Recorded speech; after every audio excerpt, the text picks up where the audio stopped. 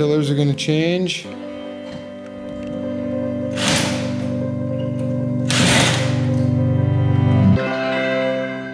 Hey everybody, we are going to wrap these jack posts with wooden columns that we had to special order from Home Depot.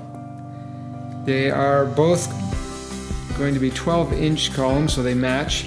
The reason why you had to go with 12 inch is because this thing was a double post and it was pretty wide. As you can see, we used to have a square uh, post around there made with drywall, but we're going fancy. And here they are, here are the columns just arrived uh, just about 20 minutes ago. And here are the capitals and the bases. So let's open these up and see what we've got. Okay, the boxes are all opened. As you can see, I have had these columns split so I can wrap them around the posts. And this little one is for the home theater entrance, which you can see in another video. Now I'm going to work on getting it to fit and wrap around that. All right, we have the half the column in place. Just testing the height.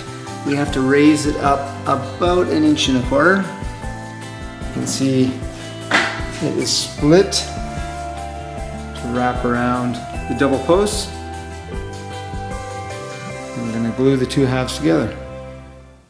Okay, so we're doing the base of the pillars. We've assembled our split circles. We've put these uh, dovetails in to, Good. to get them uh, secured. You can see we're just gluing there. So that's the dovetail holding the two together. This is the spacer to raise it up to the right height. Put that in there, clamp it, screw it in from the bottom so we don't see the screw holes. Then we're going to take our Toilet Fancy. seat. fancy ring. It's going to go around. That's why we have the monkey ears on it. So we can get around the double post. And we'll get it all attached. Once that's attached, we'll, we'll actually work on the capital, the top part, and let it all dry. Slide it up to the ceiling. Up, And we'll screw it into the up, ceiling. Up to the 15, 16, 18 foot ceiling. Yeah, maybe seven and a half. A little more. And we'll screw that in. Then we'll stick the pillars on, and you saw the dry fit uh, shot earlier. So let's get to it. That's it? That's it. Okay. Signing off. I'd like to introduce Greg. Go ahead, talk. Okay, so we are now putting on the capitals. If you look up, we've screwed in and pre-painted so we don't paint up the ceiling, the frame. And then this thing is going to now slide up Is that a toilet seat? a little bit. We left the paper down. So that's going to go all the way up and get screwed onto there. And then I should watch you through here. it'll be time for columns. Did you cut off his head? Excellent.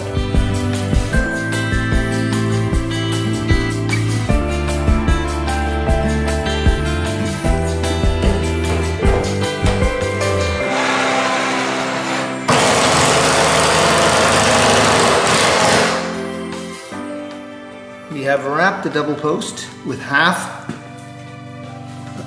half of the uh, column. We screwed it in just to hold it in place while we glue the sides here and then we're going to screw them together for a nice tight accurate hold.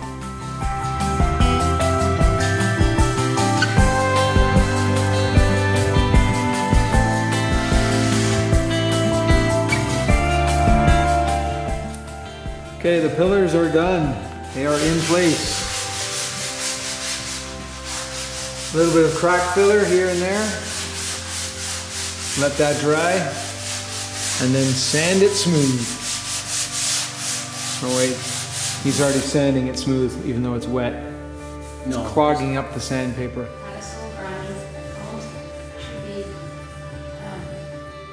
And there you have it. The columns are finished.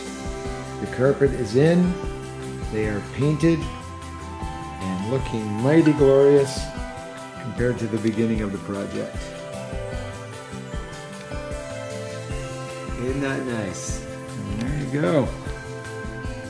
Beautiful wood columns and a popcorn maker niche. And you can check out my other video on how I made that by clicking on the link. And you can also check out another video on how I made my home theater entrance by clicking on this link.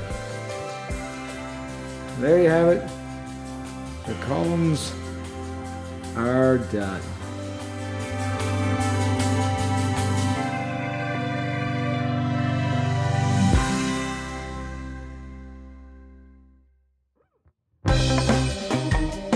Click one of these videos for more great Burke Bunch TV. And don't forget to subscribe. And here is the finished popcorn niche.